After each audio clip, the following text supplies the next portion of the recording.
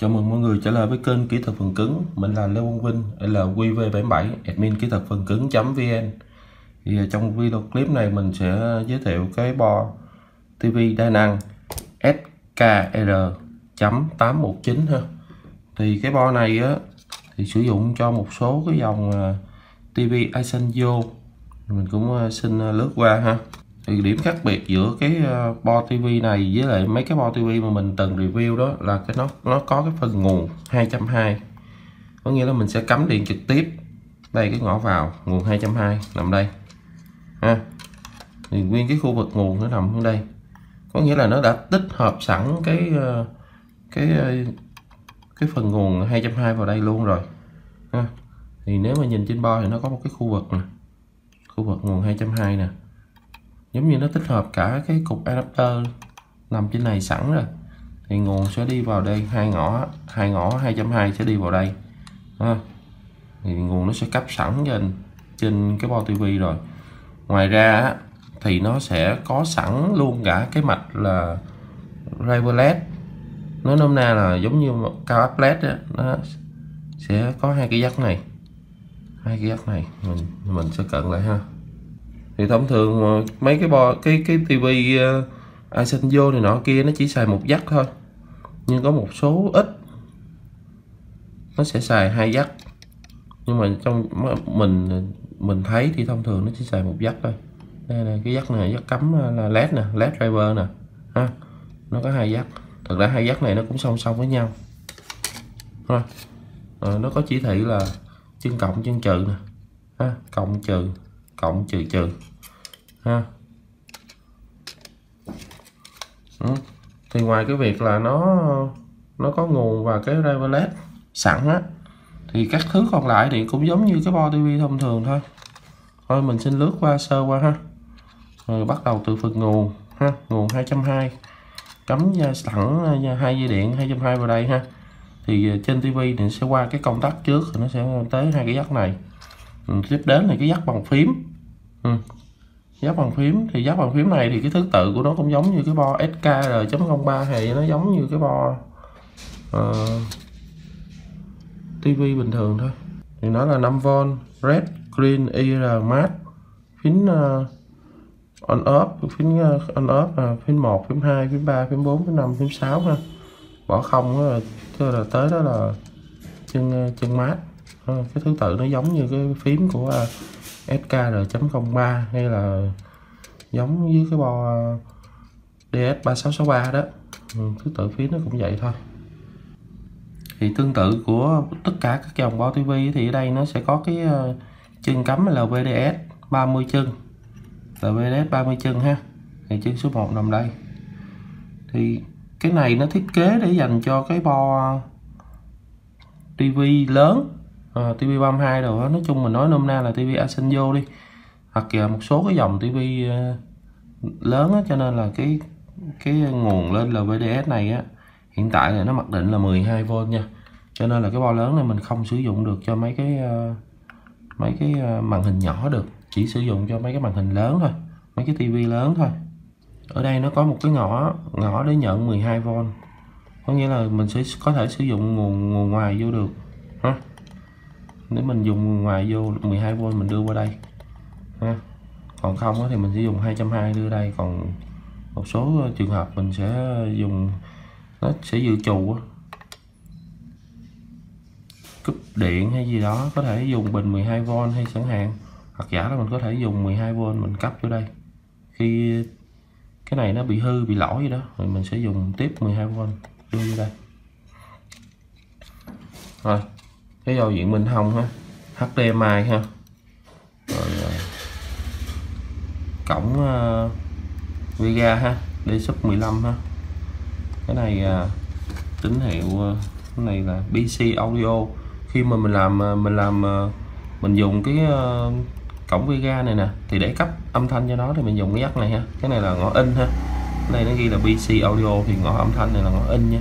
Đưa âm thanh vào trong trường hợp mình làm monitor đó mình làm màn hình đó còn đây là cổng ờ, RF á, anten ha. RF in. Ừ. thì có cái cái cái TV cơ bản này bắt buộc nó phải có cổng này ha. Thì cái bo này chỉ tương đương với bo SKR.03 thôi nha.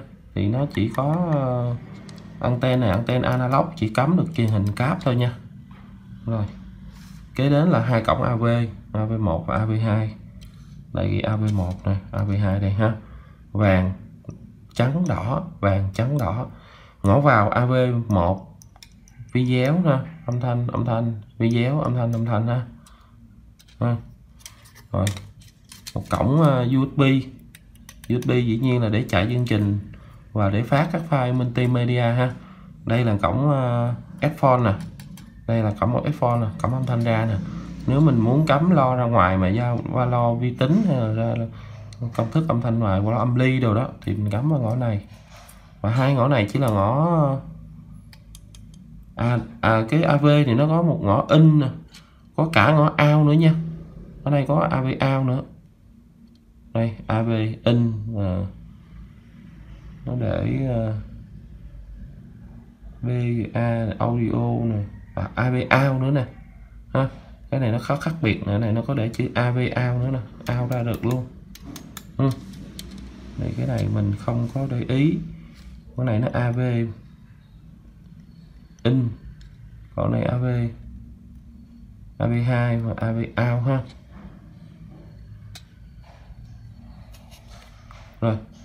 Còn cái dắt này là cái dắt uh, dắt lo. Dắt lo này thì thiết kế bằng cái dắt uh, ờ, chân cắm bốn chân mà chân lớn ha à, cũng tương tự thì nó chỉ là à, R out right out cộng và right out trừ.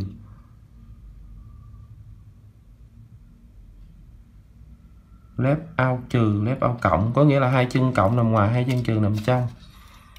Thì các cái uh, chân giao tiếp của nó thì nó cũng hoàn toàn giống như cái uh, bo TV thông thường ở đây chỉ có mình thấy cho khác biệt đó là nó có hai cái cổng AV đó thì một cái này nó ghi là in một cái ghi out. Thì ờ, để mình thử trực tiếp trên ờ, ấy thôi nó như thế nào. Nhưng mà ở đây thì mình thấy nó để một cái in, một cái out nha. Rồi USB lo. Rồi cái này nãy mình nói rồi ha led driver có nghĩa là nôm na là cáp led đó là nó có sẵn đây. Rồi. Thì mình thấy có một cái rất hay là ở một số cái tivi ờ, tivi có nguồn gốc từ ờ, Trung Quốc như là mấy cái tivi ờ, Skynet hay là tivi ờ, ờ, Belco của Viettronic Biên Hòa đâu á. Thì mình thấy là nó xài cái panel là chỉ lấy cái bo này cắm vô cái là chạy luôn khỏi cái lăn tăng gì hết. Mình đã test demo trên một cái uh, tivi Belco của Biên Hòa rồi à, mình cắm ngang qua là nó chạy thôi không có lăn tăng gì hết. Thì cái tivi này thì độ phân giải nó thường nó, sẽ là 1366 nhân 768 và nó có thêm một cái chế độ nữa là mình có thể nạp firmware cho hàng Full HD có nghĩa là 1920 nhân 1080 mình cũng thấy nhiều bạn hỏi em có cái tivi nó hư bo thì nó đưa lên thì nó xài cái cái bo y chang vậy thôi. Đó thì mình sẽ dùng cái bo này cắm ngang cái vô nó đã có sẵn nguồn cao áp rồi bo xử lý rồi cắm vô là chạy rồi. Ha. Do hôm nay mình cũng ờ, có mượn được một cái màn hình à, ờ, Belco á thì mình sẽ lấy cái Belco đó mình à, thử mình demo cái cái cái cái bo này. Và mình sẽ bây giờ mình sẽ tiến hành mình demo trên cái à, uh, TV Belco ha. Rồi cái bo này nó chỉ có vậy thôi. Chạy phần mềm thì cũng tương tự đây bằng phím rồi phần mềm tương tự đây. Rồi bây giờ mình sẽ tiến hành mình test trên cái TV Belco ha. Ok à, đây là mình có một cái tivi ờ, tivi Belco ha của thằng à, công sản xuất tại công ty cổ phần điện tử Biên Hòa nè ha. Cái model của tivi này là BL32T03 ha tivi 32 inch ha.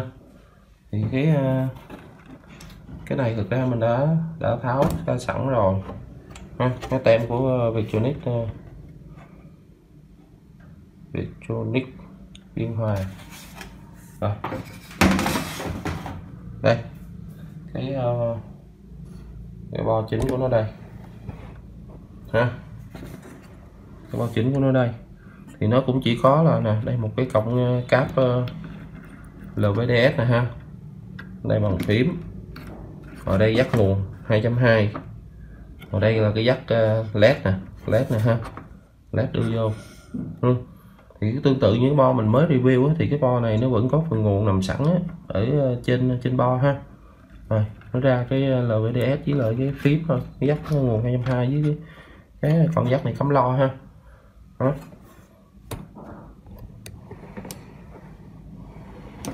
Nè cái dây LVDS này lên thẳng trên đây nè ha. Dây này chỉ có 5 cặp thôi 5 cặp tín hiệu. Rồi chỉ có vậy thôi. Ừ. cái TV chỉ có vậy thôi đó bây giờ mình sẽ mình sẽ dùng cái ờ, cái bo của mình. Đây mình dùng cái bo này. Cái bo mình đang review nè rồi, mình dùng cái này để mình mình test thử trên cái ờ, trên cái ờ, tivi này tivi 32 inch này của công ty cổ phần điện tử Biên Hòa ha. Thì dây LVDS nè thì mình bứt qua mình cắm thẳng qua đây nha.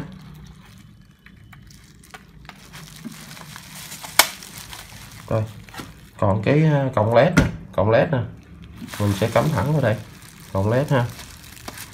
Đó.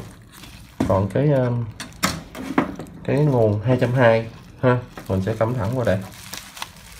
Thì cái phần phím á, thì mình chưa có khảo sát kỹ coi cái thứ tự cái phím của cái thằng à, à, Belco này á, điện tử biên hòa này á cho nên mình sẽ dùng một cái phím ờ, đi theo của mấy cái bao đa năng á. Phím đa năng ha. Dùng phím này. Có thể là cái thứ tự ờ, phím của cái cái cái bo kia nó khác một chút. Cho nên là nếu mà anh em thợ làm thì cái chuyện đảo phím là chuyện khá đơn giản thôi thì trong trường hợp này mình sẽ ờ, dùng một cái bàn phím. Dùng một cái bàn phím ờ, bàn phím đi theo cái máy bo đa năng. Rồi nguồn chỉ có vậy thôi. Rồi. đó. Chỉ có đơn giản là khi mà mình dùng cái bo này để thay thế cho mấy cái tivi mà có nguồn gốc Trung Quốc á, như thằng Asanjo hay là thằng à, Belco này hay thằng Skynet hay là cái gì đó thì chỉ có đơn giản chỉ cắm ba cọng dây thôi. Đó là cọng dây ờ, LVDS dây nguồn và dây led ha. Bằng phím thì khỏi nói ha còn nếu mình trong trường hợp này mình tính luôn phím luôn chỉ có cắm có bốn cái rồi là, là xong rồi đó. Rồi bây giờ mình sẽ tiến hành. Mình ờ, uh, cấp nguồn thì mình thử ha. Mình cấp nguồn thì đèn nó sáng lên ha. Rồi sáng đèn lên. Rồi chúng ta sẽ xem. À, màn hình xanh ha ừ.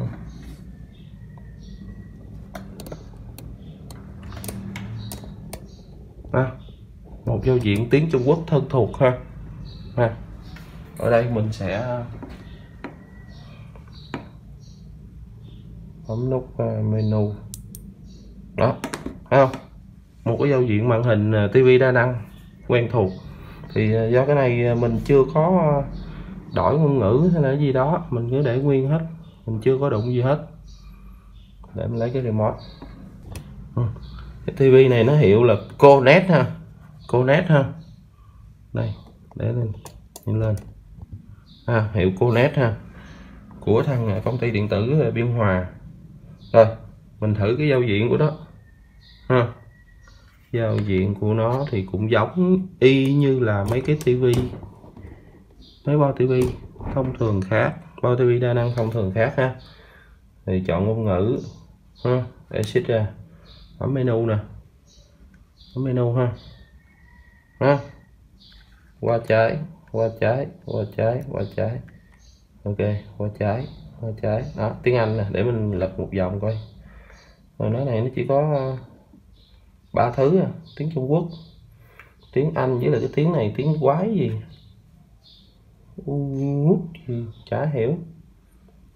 Rồi, mình chọn tiếng Anh đi. Ok ha, thoát ra.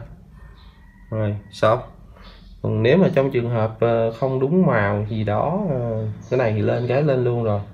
Rồi mình lấy vô cái menu menu 1147 coi. Menu 1147 đó thì cũng giống vậy thôi. Nó cũng giống như bo skr.03 vậy thôi. Chói cái đèn. Rồi, ha mình lúc thử. Rồi phần general. Không? Nguồn nó chỉnh chế độ bật on sẵn ha. Rồi chế độ ờ, uh, panel setting thì cũng vậy thôi. Ừ. nếu mà sai màu thì vô đây chỉnh đó. Màu khác. Đây màu đúng. Lên đây coi. 8 bit 12 bit. Rồi này hỗ trợ 12 bit luôn hả? Nhưng nó không hỗ trợ trên ờ, trên bo nó chỉ có 3 30 pin nè nếu mà 4 bit pin nó mới hỗ trợ 10 bit 12 bit luôn. Cái này phần mềm nó đã viết sẵn rồi. Phần cứng nó chưa ấy thôi chứ phần mềm nó đã viết sẵn rồi. À, nếu mà nó sai màu thì vào vô đây chỉnh sai màu ha. Rồi. Thoát ra và cái phần input nó thì cũng vậy thôi ha. TV nè AV nè. AT anten nè nó trên ngõ trên anten AV1 AV2 nè. HDMI nè thì này, nó nó hơn cái thằng kia ở chỗ này, nó có AV1 AV2 còn lại là tất cả cái kia cũng bình thường, ok, bình thường thôi. Ừ. thì do là mình chưa có làm một cái cái đế để mình mình mình mình mình dựng cái tivi này lên, mình test chức năng của nó. Cho nên là chắc mình sẽ hẹn lại cái phần mà test chức năng trong một cái video clip khác. Thì cái trong cái video clip này mình sẽ làm nhanh để mình ờ, giới thiệu cái bo này thôi. Tại vì nhiều anh em ờ, có cái, mấy cái tivi lớn này nè mà nó có sẵn phần nguồn với lại phần ờ, phần led giống như cái cái cái cái cái cái, cái tivi này nè mà nó bị hư bo đó. Thì ở đây mình sẽ giới thiệu là mình sẽ dùng cái bo này để mình thay thế ha. Thì, thì mình đợt này mình về á, thì mình về đến ba mẫu rồi chứ không phải một mẫu đâu. Ba mẫu bo luôn. nó tương tự nhau nhưng mà mình sẽ ờ, làm cái review mình demo mình test từ từ để mình cũng sẽ giới thiệu sơ qua. Đó, thì như cái bo này ha bo này nó cũng có phần nguồn sẵn đây đây phần led cũng giống như vậy ha. AV1 AV2 mà mình cũng đang thắc mắc là tại sao nó có tới hai cái USB nè. Thì mình cũng chưa có tìm hiểu cái bo này ha. Nó có luôn cả hai cổng HDMI luôn. Ha. Đó. Thì cái bo này nó cũng xài cho một số cái dòng TV Asenjo và một số dòng TV à, có nguồn gốc Trung Quốc như Skynet hay là này nọ kia rồi á cây Skynet cái đâu đó. À, thì mình không nhớ nhưng bây giờ mình nhớ là cái thằng này là Skynet còn thằng kia Skyward khác ha. Rồi thì còn thêm một mẫu nữa. Mẫu này để đây. À, còn thêm một mẫu này nữa ha. Lần này mình về ba mẫu ha. Ha mẫu này thì cũng tương tự vậy thôi. Cũng có nguồn có driver led ha AB1 AB2 đó. Cái mẫu này là mẫu uh, 671 không này là mẫu à, uh, TB.V56 BA671 còn mẫu này là mẫu ờ, SKR 801 thì thường thường cái cái mã đuôi sau thì nó sẽ khác cho cái form này. Ví dụ như mã này mã ờ, 801 thì cái form nó dày còn cái mã ờ, 671 á, thì cái cái form nó dày còn cái mã này là mã 819 thì cái, cái mã 819 là cái form nó như vậy. Ha. rồi mình sẽ review cái chức năng của cái bo này trong một cái uh, clip khác ha. Thì uh, trong clip này thì mình chỉ uh, giới thiệu là cái cái khả năng là nó nó thay thế được cho tất cả các bo của mấy cái tivi có nguồn gốc Trung Quốc á. Một số anh em nó dễ hình dung hơn. Khi mà mình đụng cái tivi Trung Quốc đó, mà nó có sẵn nguồn rồi có sẵn led á thì cứ cái bo này mình mình mình, mình xài là ok thôi. Hoặc giả là nếu mà nó nó giống cái trường hợp nào nó giống cái bo cụ thể nào á để mình lấy cái bo cụ thể đó mình thay vô cho nó nhanh ha mình cũng ờ, review sơ nhanh qua vậy thôi. Thì anh em nào có cái thắc mắc nào liên quan á, thì ờ, xin ờ, để lại comment bên dưới ha còn muốn mua sản phẩm hay gì đó thì liên hệ số điện thoại trên màn hình ha. 0386 088 311 mình có bán hàng trên Shopee ha. Anh em có thể vào Shopee siệt LQV77 ha. Là cái đó là cái shop của mình ha. Rồi cảm ơn mọi người đã theo dõi video clip ha. Nếu thấy clip có ích đó thì hãy bấm đăng ký à, nếu đăng ký rồi thì ờ, mình sẽ bấm ờ, chức năng like và share ha để chia sẻ video clip này cảm ơn mọi người đã theo dõi.